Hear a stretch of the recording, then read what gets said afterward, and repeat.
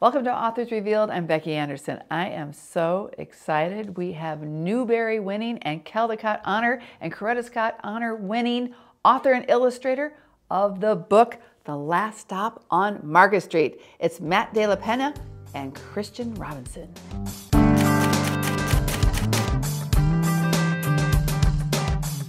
Christian. Welcome to Anderson's in Naperville. It's so great to have you guys here. Thanks for having us. Great and I know here. this is a really belated congratulations, but for, for the Newbery, for the Caldecott Honor, for the Coretta Scott King, congratulations. Yes. This book, we I can't tell you how many hands we've put this in. It's irresistible, I'll tell you. And Thank we just we just love doing that. Thank you. Yeah. So I want to know since the ALA annual show's coming up. Are you guys a little nervous? Or also, too, I want to know how did you feel when you got those calls that morning? well, I'll tell you, yeah. I think there was a little buzz for the Caldecott. So I left my phone on the night before, thinking that our agent, we have the same agent, might call me and tell me if he got a call. And then the phone rang for me, and I remember thinking, this isn't Steve Malk. and the guy said the word Newbery, and I was like, this guy screwed up. Yeah, right, right. so, and then, you know, it sort of sunk in. And then an hour later, Steve called me and told me about his two honors. So it was pretty shocking and amazing morning for me. Yeah. yeah, no, and like you're saying, it was just disorienting. One call after the other that you just Right. I didn't know what was happening. Uh, it was, was a lot good, to take in. Good things are happening. yeah, because yeah. the book looks. I mean, it's you know, it's hard not to cover up some of the illustration yeah. with the three medals on there, but it is just incredible. But I just want to. It's just so cool that you guys did this, and we were we were surprised with the Newbery. Absolutely. But when we we looked at it, we go, it could not be better. I mean, but for me, the illustrations and the text and the words yes. are are so one in this yeah. that it's not just the Newbery, but I'm so glad that it got the other medals because it's so well deserved. And that was important, you know, like yeah. to have both sides sort of recognized. Yeah. I think that was like. Well, and we were, you know, thinking back about all the other books over the years that have won the Newbery. There's only been one other picture book. Yeah. And that was like, I don't know, over 30 years ago or something. Yeah, with, and I learned about all that stuff on the back end, you know. yeah, right, right, right. So I want to know where where did the seed start to grow? For our last stop on Market Street, Matt. And when did you guys start to collaborate? Because so many times, and Christian, I'm sure it's true for you when you illustrate. Have there been incidences where you have illustrated a picture book and you have never met the author? All the time. All the yeah. time. See, I, so I want to know the collaboration that you guys, because I think it's probably more than what usually happens sometimes. It was a little different. I'll just start okay. out by saying that you know I was directed by our agent to Christian's blog. And I was oh. kind of looking at his stuff. Yeah. This is before he even had one book. Uh, my agent was about to sign him. And so there was one illustration that I just loved, and I could imagine it in my daughter's room or something. Yeah. And it was of a little boy on the bus with his grandmother. And I told Steve Malk, our agent, I love this illustration. And he started to plant the seed of like, I wonder if there's a book there. Right. That's how right. it started for me. Yeah. So when, when did when did he get you two together? I mean, was that right after that? And then did you collaborate from the beginning on the story? And did it start because I read that both of you used to ride the bus with your grandmas. Yeah. And and did you collaborate? I mean, what came first? You know, it's like the chicken or the egg kind mm-hmm. of thing. Did you did you know about that we were going to work together, or was this all Steve's grand plan? um, I I actually I honestly can't remember, but I yeah. think I really didn't know that it was really happening until mm. you had really written something and put something together. Or actually, no, we we, we spoke over the phone a few we times. Did, we talked a couple times. So it slowly evolved into something I didn't know what it was going to be. Right. Um, but yeah. and that was actually um, very rare, as you probably know, that we spoke. We talked a couple right, times about right. the text and what the story was going to be, and so it was kind of it was kind of nice that we got to, you know, collaborate just at least a little. Right. You know, because right. ultimately, of course, he he's going to do what he does with the with the words. Yeah. So so, did your illustrations change some of your words? And did you guys go back and forth a little bit? You know, because I, I you know, when you hear those collaborations that do take place, sometimes that yeah. happens because something, uh, you know, something sort of. I will tell you this. Um, I remember getting a note through our agent that I think he wanted another animal in there. I don't know if you even remember this, but the funniest thing is, I remember thinking, "Oh, an animal. I wonder where it could go." Oh, and okay, it became yeah. like one of my favorite illustrations with the dog closing his eyes. Like, I love that yeah. illustration, and I think that wouldn't have happened unless I actually got a note from him. Right. So right. that's kind of that's one thing that I remember of how changing the text based on, you know, yeah. his ideas. Yeah. Yeah. I mean, I always love yeah illustrating animals or other sorts of characters that make the story more whimsical. Sure. And, sure. and you and you went with that and like the the hawks flying. And, yeah. yeah. yeah. Well, I love your the Gaston. I love that book. That, yeah, that's, that's so great. So this bus trip, it's happening. Is there any city that you had in mind when you guys were thinking, where whether it was San Diego or whether it was, you know, uh, you know, Brooklyn or where you guys live now, or where, where, what city did you guys have in mind when so you did the work? Question. Okay. So I lived in LA for four years with no car, which is, according to a Snapple fact, there are three times more cars than people in LA. Yeah. I trust. Yeah, sure. So sure. I think uh, for me, I thought of LA, and then it goes over to him and what were you thinking?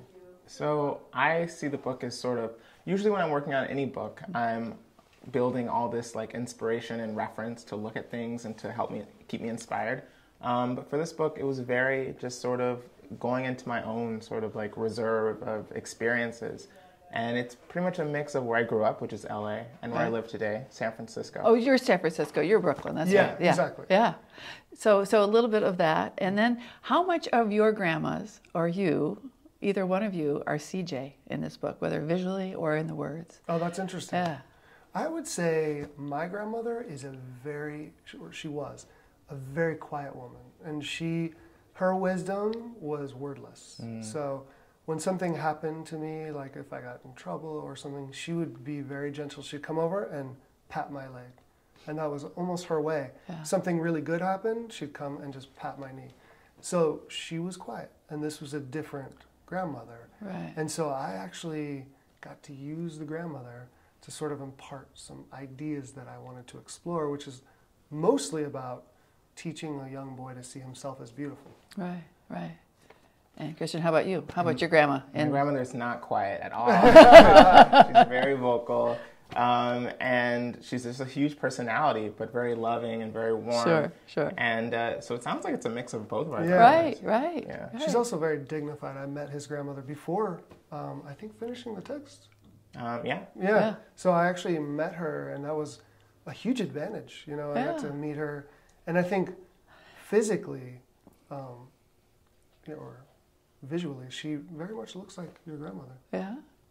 Yeah, I, the illustrations, I just thought, and she is, she's very dignified in the totally. book. And I love the way she's guiding CJ through the city to look at things differently. And you put so much detail in the illustrations to look at. I know kids absolutely love that. Um, but what I loved about the trip is that it's showing and, and, you know we're all talking about more diversity within books but you know what? We just need books that are taking place now that show people in our communities in our neighborhoods and yeah. i love that aspect. This bus trip shows so many people that you see every day. Yeah. and i know that a lot of the kids when you when you read it to them they love the guy with the tattoos and the so and the blind man with the dog and yeah. and those things. But it's it's it's so great this generational story between grandmother and grandson. Yeah. That's so great. So you guys I could so see why this got the Newbery now, oh. you know, in hindsight, because you wouldn't think of it in that way. But um, so what do you, what do you guys hear about it? Because I know I think you have both have opinions about what's happening with the whole movement about more having more diverse books out there for kids. Yeah. I'm, I mean, I'm on the board of the We Need Diverse Books right. group, okay. and I think my biggest thing is if you're going to have an African American protagonist, it doesn't have to be about the Underground Railroad. And, and those books are incredibly important and valid. Exactly. They need to exist. Yeah. But I love contemporary books featuring diverse characters, right. stories that aren't focused on diversity. I think yeah. that's very important. And that's what we're tuning into as booksellers, especially when we're talking to kids, we're talking to educators. Yeah. Those are definitely what we tune into. Christian, how do you feel when you because you've illustrated so many different things, you yeah. know, yeah. from from Josephine Baker to Gaston the dog to and the smallest girl in the smallest uh, grade. I love that book and all the other ones you've done. So how do you feel about the whole movement that's out there? Um, I'm grateful that the conversation's happening. Mm-hmm. I mean, mm-hmm. it's been happening for a long time, right. but I'm grateful that I feel like it seems more so than ever that people are really taking to action and are passionate. And I also feel there's an importance in, of course, making sure that we see ourselves in stories and can connect with characters and realize that we matter and that we're seen, but also that we tell stories that excite us and that are fun and sort mm. of like you said aren't necessarily just about like the first person who played the piano or mm-hmm. you know right but that's a good point yeah you know who like maybe went to a wizard school you know or like something you know right you know the other thing i loved in the language in this book is that you used everyday language mm. you know the normal language instead of trying to alter it but it was so natural, it was so real. Yeah. Yeah. So did, did you did you write it any other way, or, or Matt, did you did you just set out to write the way this grandmother and grandson would be talking? When I when I sit down with especially dialogue, I just try to write what I hear, as opposed to what I want to spread to kids. So I'm uh, in a weird way, I'm almost plagiarizing the world. I'm just listening to the music of everyday speech. In my YA novels, I've been doing that since you know I started. Yeah, yeah. and in this yeah. one I did have to sit down and say, okay, is is CJ in his most comfortable uh, spot with his grandmother on the bus? Is he going to speak your language or is he going to speak his language? Right. And I just chose his. I will say though, I get a lot of emails where people are frustrated and saying, "Why did you do this?" And huh. my big thing is, you know, look, if CJ, if this book was set at a school, he'd probably switch codes and he would clean up his language. But he's in the most comfortable place right. with his grandmother. Yeah. I just want to be authentic. Yeah, and it was it was totally that. And I like that you know in the illustrations and too, and also in the text of the picture book is that you're not whitewashing anything. You're seeing the city and you're traveling by bus, yeah. but also too at the end. And, and I love CJ's that typical kid where everything, you know, the, the glass is always half empty. There's something wrong with this, or why are we doing this, mm-hmm. and everything. But then at the end, I love the fact that she gets she, she turns things around for him to have him see things differently. Yeah. But also you adding, you know, the, the soup kitchen at the end was a great way for kids. So I think kids reading this picture or having the picture book read to them will see the importance of getting involved in another way too. And I think it's fun to yeah. not only have this book, you know, read to diverse children, but also just to children living in the suburbs and wealthy yeah. neighborhoods. I think it's just important as important for them to check it out. Yeah, yeah. So you are the first Latino to win the, the Newbery Medal. Yeah, how, how, did that, that? feel? I think, well, first of all, I didn't know until people right, told me. sure, sure. But then, you know, I think the biggest thing for me is, you know, we went to a school today. It was about 95% Mexican American. Mm-hmm, right. And I think it's important to stand up there and say, look, I come from your community. It was just in Southern California. And I chose to have a life in books. Yeah. You can too, yeah. you know? I think it's just important to show kids that hey, this is a possibility. Right. And, and Matt, too, all the, the YA you've written, you've written, and your dialogue always is so incredible. Thank you. But what was that switch like? From, from writing, writing, you know, a full-fledged novel yeah. for a young adult to, you know, down. And people think that picture books are easy. No, they are so not easy. So how was that, that switch for you? So a lot of people think it's, it's, it's a huge stretch for me, but the truth is I started out writing spoken word poetry. So ah. before I ever wrote a novel, I was writing tons of poems that were kind of rhythmic based, rhythm based, and musical. And so for me, I look at a picture book as just a spoken word poem. So I want to know, Christian, what was what was the first recollection you have of you wanted to be an artist or an, or just wanting to draw? Do you remember what that first time was that you sat down, and what was that that you drew and that you knew this this was kind of this is for me, kind of thing. Do you remember what that might have been? Hmm. I don't know what that one drawing may have been. Yeah. I do know that I was raised by my grandmother, and I was also my grandmother. She was like this strong character and figure, and she took care of me, my brother, my aunt, my two cousins, Jeez. and we all lived in a one-bedroom apartment. And I, looking back, I realized that drawing for me was a way of creating space for myself. Hmm. We had limited means, limited space, yeah. but drawing, you can sort of just create the world you want to see and create the space that you need. Yeah. Um, and so, yeah, drawing's has always been like this source of just. That's cool. Yeah, yeah. yeah. So, so also too, I, I know that you worked in you work in animation, and you some of your book trailers. Did you create some of the book trailers for some of the picture books that you've done? Mm-hmm. But you worked at Pixar, and you also Sesame Street Studios, um, but what led you to that, and what do you enjoy the most? Mm. Now that you're, you know, you're really full fledged into children's illustration, but are you still doing a lot of animation? So yeah, um, I, yeah, I studied animation, and um, it, it really was like it is. It's still a, a, huge love of mine. Like to animate means to bring to life, mm. and I and I think that those same sort of principles or values that I gained from animation, which is that a drawing is something that is living and breathing, and that you should give respect and integrity is something I hopefully carry through to my illustration. Yeah. I really believe in these characters. I really want them to feel alive and, and yeah. Sure, sure. And Matt, what about you? That first, I know you said you started writing poetry yeah. and things like that, but what, what was that first time you go, I think this is what I want to be? I think. Besides a basketball player. yeah, yeah. Well, I think it actually, they overlapped a little. I think yeah. I was gunning for college, and I thought the only way I'm going to get to college and be the first in my family to go there is through basketball. Like I knew that my parents couldn't afford it. Mm-hmm. But once I got to college, I think I, I flipped to literature almost immediately. And what I thought about when I was in college is I was like, I've always been writing these little poems. They're about working class people, focused on the community where I was raised. And I think I went back to some of those poems and I was like, you know what? Like, I've been a writer this whole time and I just never viewed myself as, as a writer. So I think in college, I started to learn how to see myself differently as not just an athlete, but as somebody who's trying to make art. Right. And what was that switch up? Because you know you had a full scholarship to play basketball yeah. in college, um, University of the Pacific. You yeah, went to. Correct. What, what, what was that like eh, being an athlete, but also being someone who loves words and, and crafting that sort yeah. of art? well, it's way. funny listening to Christian talk about animation and then going to illustration. Yeah. I see a little crossover with basketball and writing. It's the energy, like yeah. the pulse, the rhythm. Like when you think about basketball, you think about dribbling and that kind of rhythmic going up the court, um, and the sound of people's feet hitting the, the hardwood. And when I think about writing, like to me, I want to get the story right, but then I also want to get the music right. right. You know, so it's about sounds as well.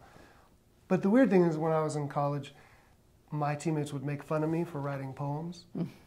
But then when I went to graduate school for creative writing, right. they'd make fun of me for being an athlete. So you kind of kind yeah. of go, you know, maybe I'm not an insider in either group, but then maybe that's the best place to like. Well, right, art, sure, because you're spanning two different worlds. Exactly. Yeah, it's, it's, it's, a much cooler place to be. I like it. Yeah, yeah. slightly outside. Yeah. So I know your dad yeah. came to reading late, but tell us about the story about him and growing up with him, but also I think you kind of brought him to books, and now he's a voracious reader. Yeah. So my yeah. dad was, you know, high school dropout and wasn't a big student, of course. He had a family when he was really young. He's a teenager.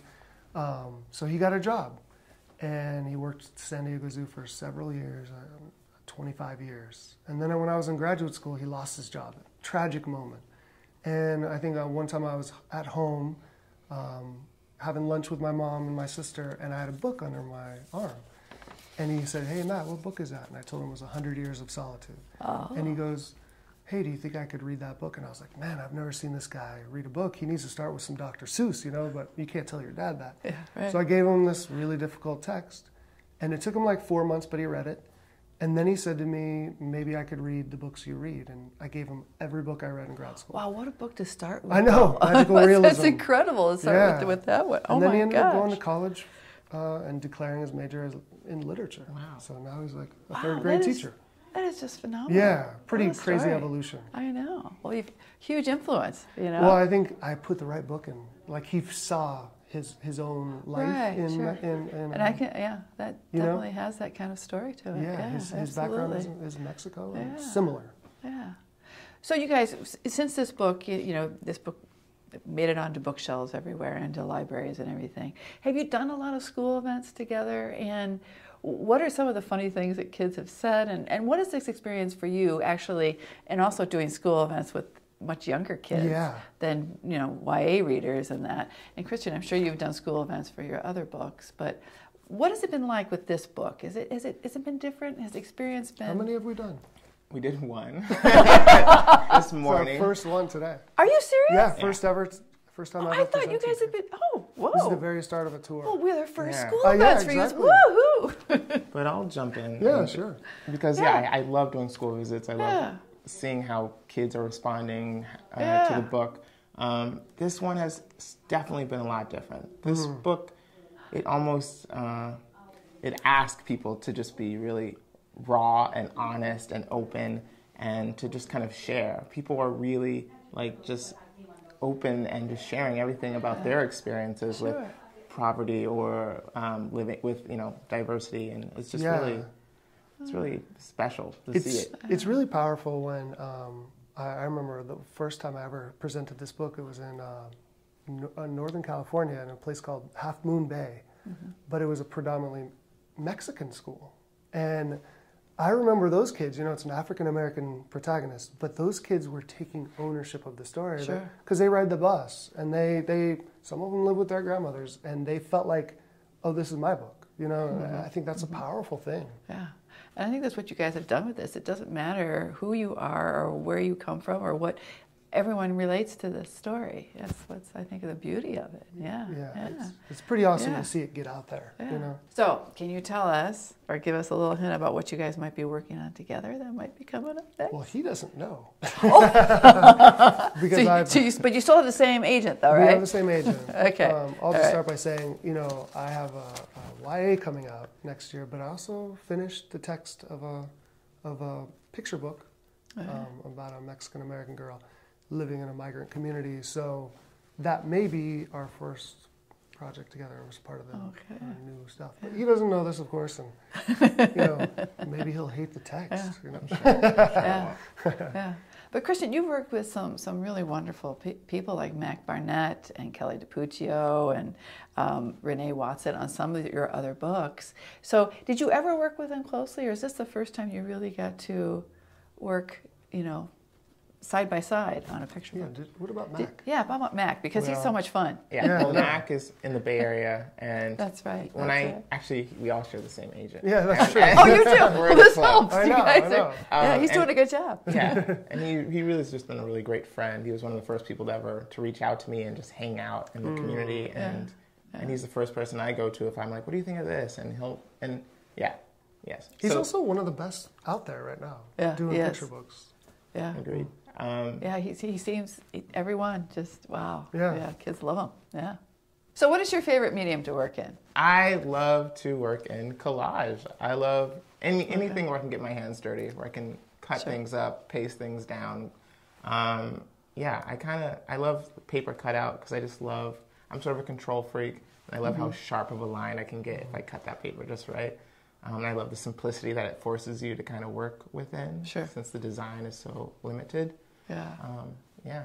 Yeah. Okay. So come come July for for the for the ALA. Yeah. Um, are you guys nervous about it at all? I'm scared to death. I've only been to this um, the Newbery banquet once, right? And I had to watch Kate DiCamillo give a beautiful, oh, amazing. so, you know, yeah, we see that that was yeah, that's yeah. That's pretty tough. I've heard you speak before. You're, yeah, well, you're, but you're she just yeah. was just yeah. so profound and beautiful. Yeah, and, yeah. and I remember I was sitting at the table thinking, I'm so glad I never have to do this. so you know. Yeah. We'll but the thing is, they make you record your speech. yes, I already recorded it. Yeah, it's already recorded. At least it's so done. It's, it's done. So. And he has to give a speech, you know, for the yeah, and I think right.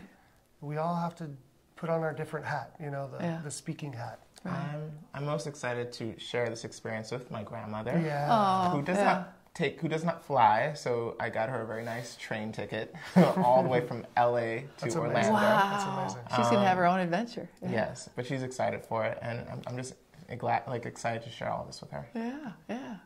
So winning, winning all these, because you guys have won so many accolades for your other books too. But winning these three, seeing those three medals on the yeah. front of Last Stop on Market Street, is it daunting? Next, like when when you know that your next book is going to be out in the world, does it put a little pressure on you guys, or is it just sort of maybe you know it kind of bolsters you up for for what you got coming next? I'll just I'll start by saying you know I have to tell you like I think failure is paralyzing, can be paralyzing, and I think success can be paralyzing too. I remember right after the award, the first thing I was doing was this picture book that I've been kind of tinkering with mm-hmm. off and on. And I remember actually saying, Is this a Newbery worthy picture book line at one point? And I was like, Oh my gosh, I need to stop doing that. Wow. Um, yeah. But, yeah. but yeah. I will say that it's just so humbling. And in a weird way, the awards, they almost feel like somebody has forgiven you for your mistakes. You know, because mm-hmm. we all make so many errors as artists. You know, you look back at your my all my books, and I'm like, oh, there's so much I would change. Mm. Right. And you almost feel like, oh, these people on the committee, they they forgave me for those mistakes right. in a weird way. Yeah, that's deep. or complex. So, so Christian, is it is it? I mean, does it does it make it harder, or is it just maybe gives you more confidence? Confidence. I don't know, yeah, where that, where, where, where, to get that, but um, it's it's a it's a I don't know. It's sort of with this one. I what am I saying? I didn't see it coming. I almost mm. I didn't know mm. to that it was on. You know, so it was just sort of it's just it's all a treat. It's all exciting. Yeah. And luckily, I had already have some books I had worked on right, right. after this mm. one, so I don't even have to worry about those ones. Like, sure. and so it's just. Um, as long as I get, as long as they keep giving me more books to work on, I'm happy. Right, right. you know. Well, this is so cool that you guys both have the, got these these honors. It's yeah. sort of your first time around for the, the, the big ones. I know. Yeah. It was so yeah. fun to be yeah. be in Orlando. Right. Yeah. So, are you going to animate Last Stop on Market Ooh. Street? An animated version of Last That's Stop. That's interesting. That would be interesting. and actually, I mean, I think it would be well. It would be so cool. I mean, you're seeing the move in the bus and what's happening, and you know, somebody needs to sign this up. that actually would be a lot of fun. That would be. it would be fun. Yeah. Yeah. Yeah. Okay. I'm in. All right. Thank you so much for sitting down and talking with me, and congratulations again. I know you've heard it a gazillion times, but I know you get, don't get tired of it. But yeah, thank you so thanks much. Thanks for coming to see us. What an incredible conversation we've just had with author Matt de la Peña and illustrator Christian Robinson with their award winning picture book called Last Stop on Market Street. It's won the Newbery, it's won a Caldecott Honor, it's won a Coretta Scott King Honor. It's a picture book that all kids need to have. Thanks for joining me on Authors Revealed.